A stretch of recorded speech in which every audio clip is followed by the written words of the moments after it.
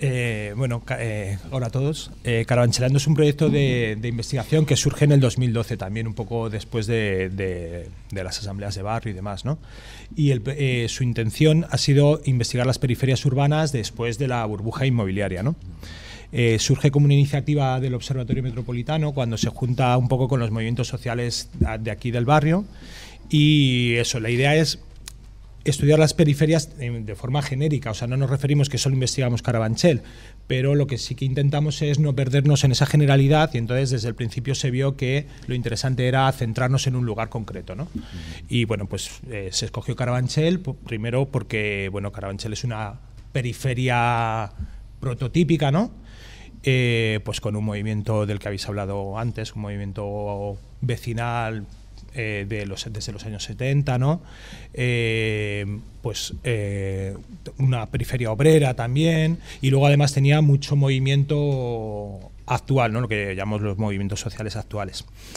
Y bueno, montamos un proyecto que nosotros nos gusta decir que es de investigación militante, ¿no? Porque bueno, no solo es investigar las cosas para, para saber más, sino que lo que intentamos es que esos resultados de la investigación sirvan para eh, transformar la realidad también, ¿no? Y que sirvan de base, de base o de apoyo a los movimientos sociales que hay en el barrio. Em, nos gusta decir, bueno, intentamos que nuestra investigación sea horizontal, abierta, no académica, desde abajo, ¿no? Eh, no, no buscamos un saber tipo el universitario, desde luego, ni mucho menos, sino intentamos dar voz, eh, primero conocer y dar voz a, lo que está ocurriendo en el barrio y que nos lo cuenten y se integren incluso en el proyecto los, los mismos protagonistas ¿no? de, de las cosas que están ocurriendo. Eh, bueno, no sé si. sí, sí, bien, bien, bien. Eh, definiéndonos, definiéndos Lo que hemos hecho, hasta ahora lo que hemos ido haciendo, bueno, eh, partimos eh, al principio de la investigación, lo primero que hicimos fue unos talleres de mapeo colectivo, que lo que es mm, tratamos es de ponernos delante de un mapa y a través del mapa eh, localizar ahí eh, experiencias, lugares que sirvan, que nos, que, muestren un poco cuál es la vida, ¿no? la vida en el barrio. Nos gusta decir que estos talleres de mapeo, pues bueno, parten de un mapa objetivo oficial y nosotros pues lo tuneamos, ¿no? Empezamos a pegar eh, dibujitos, eh, hacer rayas, eh, ponemos inscripciones y intentamos reflejar en ese mapa, bueno, la gente que está en este taller intenta reflejar en ese mapa las vivencias, ¿no? Damos vida a ese mapa. Como consecuencia de esos, de esos talleres de mapeo, pues normalmente se destacan, se destacan en ese, en, ese, en ese mismo mapa, se destacan ciertos temas. Y nosotros lo que hemos ido es abordando esos temas sobre todo con paseos. Eh, los paseos lo que intentábamos es eh, establecer, bueno, primero una temática concreta, ¿no? que se había destacado previamente en el taller de mapeo, y actúan un poco como cortes transversales del barrio, para analizar esa, esa temática. ¿no? Pones un ejemplo para que lo entendamos. Eh, pues mira, los primeros paseos que hicimos fueron, eh, el primero fue fronteras, eh, pero con fronteras no nos referimos solo a las fronteras de las que habéis hablado antes, ¿no? El Carabanchel empieza en el río y termina en la M40, ¿no? Sí, esas fronteras están ahí, son las más evidentes. Pero también nos enfrentábamos a otras fronteras que se habían destacado en el mapa, ¿no? Enseguida se puso de manifiesto que en Carabanchel Alto, por ejemplo, no solo en el Alto, pero principalmente allí, hay un montón de tapias y un montón de eh, fincas, antiguas fincas que están cerradas y que ahora suelen ser de órdenes religiosas, ¿no? colegios o lo que sea. Eh, también se destacaban eh, una, una, serie de fronteras simbólicas que separaban unos barrios de otros, ¿no? claramente los barrios marcados más negativamente, ¿no? por un pasado más, pues, más estigmatizado. otras fronteras simbólicas de como por ejemplo en la Plaza de Oporto eh, mm, actúa también como otra frontera en la que ciertos migrantes no pueden pasar o si, no se arriesga, arriesgándose a que les, les identifiquen, les piden los papeles, etcétera, ¿no? Entonces, bueno, ese es un ejemplo, ese es la primera, el primer paseo. Otro paseo que se nos destacó, otra temática que se nos destacó, desde luego, fueron los barrios marcados, ¿no? Carabanchel es un barrio con un pasado muy asociado a la cárcel, muy, muy asociado a la marginación, ¿no? Eh, bueno, pues entonces, y sobre todo, y dentro de Carabanchel, que no es todo igual, desde luego, eh, se destacan tres lugares como especialmente marcados. Bueno, dos son de Carabanchel y uno de Latina, aunque todos nos sentimos como si fuera Carabanchel, ellos mismos, ¿no? Que es Pan Bendito, eh, Caño Roto, que es en Latina, pero siempre está, está muy ligado al barrio, y, el Alto de San Isidro, ¿no? Eh, eso sería otro paseo, ¿no? Asociar, eh, o sea, investigar qué está pasando allí, porque ese lugar se destaca mucho en, la vida del barrio. Entonces la idea es, os sentáis, habláis sobre el asunto, se marcan las vivencias, se plantean destinos y luego se va físicamente al sitio. Eso es. Y se va y además se habla, se intenta hablar con las personas que son directamente implicadas en la problemática que se está, que se está analizando en ese corte. ¿no? Entonces, si estamos analizando las fronteras, eh, las fronteras de una manzana cerrada que se ha creado ya dentro de esta nueva periferia neoliberal, pues entonces se intenta hablar con alguien que viva allí, incluso que nos, que nos meta dentro, que veamos todos cómo es aquello, que nos diga cómo funciona, la obsesión por la seguridad.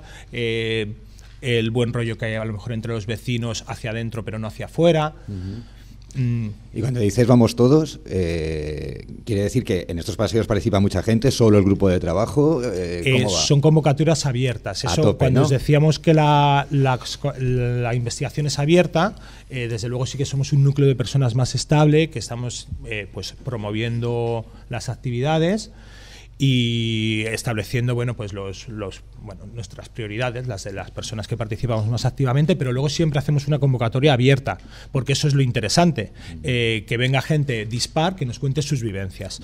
Ha habido cosas súper chulas no por ejemplo en un paseo que hicimos por el Pau que es otro de los de los lugares destacados ahora mismo para entender qué está pasando en Carabanchel y en una periferia eh, vino mucha gente que no conocíamos y en concreto una de las cosas que no habíamos podido contactar es con una persona que nos metiera dentro de, una de las urbanizaciones eh, que se han vendido a fondos buitres, que eran propiedad del IBIMA o de la MV y, ver que, nos cuente qué está pasando allí, ¿no? Directamente a todo el mundo, que algunas las personas lo saben y otras no. Entonces, bueno, pues de repente una de las personas que había venido al, paseo, pues era de, una vivienda de este tipo.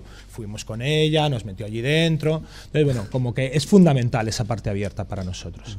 Oye, Javi, ¿qué, ¿cómo se puede apuntar la gente a, a los paseos? Si ahora alguien que nos esté escuchando, sea de Carabanchel o no, eh, le apetece darse un paseíto por, por el Pau con vosotros, por ejemplo, ¿dónde hay que entrar? Eh, bueno, realmente lo que hacemos es establecer, eh, preparar paseos con temáticas definidas. Entonces, el del Pau no es que no, no lo vayamos a hacer nunca más, pero lo hicimos ya hace, hace año y medio. Entonces, ahora estamos preparando, hay un grupo de trabajo que está, hablando, está preparando un paseo sobre periferia y género. Entonces, ese, en el momento que lo tengamos preparado, están contactando con gentes con personas para hablar en cada una de las paradas de este paseo. Eh, en el momento que lo tengamos preparado, nosotros eh, lo lanzamos a los cuatro vientos. Eh, pues bueno, utilizando a las compañeras de la Asamblea Popular de Carabanchel, que hacen una promoción estupenda de las, todas las acciones que se hacen aquí, pues se lo pasamos a ellas y ellos nos ayudan a promocionar nosotros mismos también, en el ECO también. Entonces, bueno, hacemos uso de ese tejido social que hay aquí en Madrid, en Carabanchel sobre todo, para convocar a cuanta más gente mejor. Eh, no sabemos cuánta viene, desde luego. En general, pero para estar al tanto, en general, tú buscas carabancheleando en tu buscador favorito y vas a llegar, ¿no? Por supuesto. Eh, os, llevaría, os llevaría a, la web que tenemos, carabancheleando.net, donde obviamente también eh, convocamos, hacemos todas las convocatorias y también ponemos los resultados de nuestro trabajo. Queremos que sea abierto no solo la participación, sino que, como decía antes, ese eso que aprendemos, eso, eso que investigamos, eh, pretendemos ponerlo al servicio de la gente. Eh, nos encantaría que los movimientos sociales lo usaran. Eso mismo he hecho yo, eh, me metí en caravancheleando.net ayer, anoche mismo, y aparte de ver parte de este trabajo que nos estás comentando tú, eh, una de las cosas que más me gustó fue el diccionario de Carabanchel. El diccionario. Dije, Javi, esto nos tienes que contar. Claro, yo, mi primera preocupación, digo, a ver si me convalidan el, el, nivel básico de Vallecano con el carabanchelero. Pero bueno, andaba cerca de ahí y he visto algunas palabras que, aplicadas a Carabanchel, eh, tenían ciertas, ciertos matices que a lo mejor en el diccionario de la RAE, tan serio como se pone, no tiene, ¿no? Evidentemente, yo creo que con el diccionario de la RAE solo se solo solo coincide en el nombre. Vamos, no, sería todo lo opuesto, digamos. ascensor, ascensor, por ejemplo. Un par de ejemplos. Ascensor. Claro, eh, nosotros en el diccionario de. Bueno, primero es también. Eh, es como uno de los resultados de nuestro trabajo. En todos estos paseos, pues decíamos, y bueno, ¿cómo que, plasmamos lo que vamos aprendiendo? Y surgió la idea de hacer un diccionario subjetivo de términos y de conceptos que nos parecen significativos en las periferias urbanas, ¿no? Eh, centradas en Carabanchel, pero siempre, como, como os decía antes, con un poco de dimensión de más allá. Entonces, a mí me gustaría que luego me dijeras si el diccionario de las periferias se aplicaba también a Vallecas, más o menos. Por lo que he leído, sí. ¿eh? Sí, ¿no? Entonces, cuando decíais el ejemplo del ascensor, pues nosotros, eh, ascensor es una de las palabras del diccionario y realmente no definimos el aparato ascensor, realmente utilizamos esa, esa entrada para eh, hablar de la movilidad social, ¿no? Eh, como, como en Carabanchel y en los barrios periféricos, desde luego, se, destacaban porque no había ascensores hace unos cuantos años, ¿vale? hace unas décadas. Eh, luego empezaron a surgir nuevas, nuevas construcciones que ya sí incorporaban el, el ascensor, pero también da lugar, a, es, un, es un aparato que ha dado lugar a un poco a discusiones en las comunidades de vecinos, y bueno, lo que nos gusta es hablar de todas esas cosas, ¿no? Utilizamos el término como excusa para hablar de otras cosas.